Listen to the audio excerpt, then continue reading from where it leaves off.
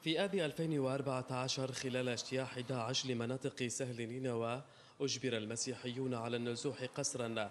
أما هذه الكنيسة فقد حرقت ودمرت محتوياتها وشوهت تماثيلها وكسرت صلبانها. اليوم وبعد مرور أكثر من عام ونصف على تحرير ناحية بارتلا شرقي الموصل تعود أجراس كنيسة مارغوغيس للسريان الكاثوليك لتقرع مرة أخرى بعد غياب مؤلم لأكثر من أربع سنوات لتمتزج إيقاعات الطبول ونفخات مجوزة يحمله طلائع الكنيسة.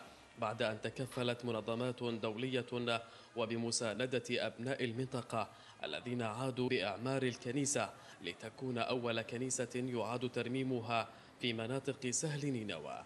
تم الآن تصليح الأضرار وتنظيف الكنيسة من كل الشوائب لكي تعود إلى حلتها القديمة وتكون مهيئة للصلاة ولتمجيد ربنا. ونحن فرحانين أن ننقل هذه الصورة إلى جميع أبنائنا.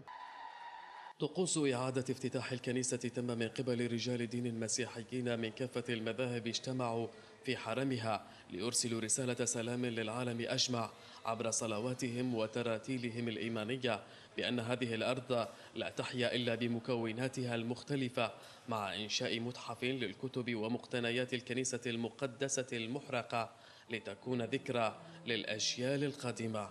بما فعله الغرباء بمقدساتهم. بالرجاء نزرع وبالفرح نحصد ونتمنى أنه كل كل كنائسنا وجوامعنا وكل آه، صروح حضارتنا ترجع وتعطينا الشهادة بأنه هذا الشعب يحب الحياة. في باحة الكنيسة عزفت الجوقة موسيقاها وأطلقت مئات البالونات احتفاء بهذه المناسبة. وسط دعوات أن تعم وحدة الصف بين مكونات وطوائف الشعب بعيدا عن الفرقة والتشظي نتمنى أنه يعم الأمن والسلام ويتعمرون جميع المناطق ويرجع الوضع مثل أحسن وقبل ونتمنى أنه ما يصير فرق. أكثر من ألف عائلة مسيحية عادت إلى بلدة برطلة من أصل ثلاثة آلاف عائلة كانت متواجدة قبل أحداث 2014 بحسب إحصائية حصلت عليها الحرة من شخصيات مسيحية رسمية. من برطلة شرقي الموصل هيثم أحمد الحر